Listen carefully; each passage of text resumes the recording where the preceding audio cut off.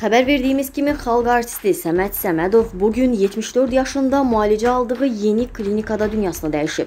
Klinikanın reanimatoloqu Emil Qasımov ifaçının ölüm səbəbi barədə danışıb. O bildirib ki, Səmədov ötən gecə klinikaya çox ağır vəziyyətdə gətirilib. Xəstə çox ağır vəziyyətdə tənəffüs çatışmazlığı ilə reanimasiya şöbəsinə yerləşdirildi. Ona lazımi dəstək müalicəsi göstərildi.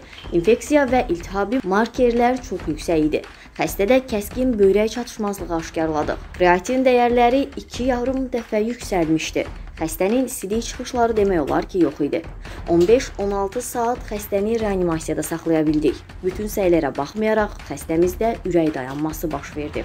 Ölüm səbəbi olaraq sepsis və septik şok təsbit etdik deyə Emil Qasımov bildirib. Qeyd edək ki, Səməd Səmədovun koronavirusdan vəfat etdiyi bildirilirdi.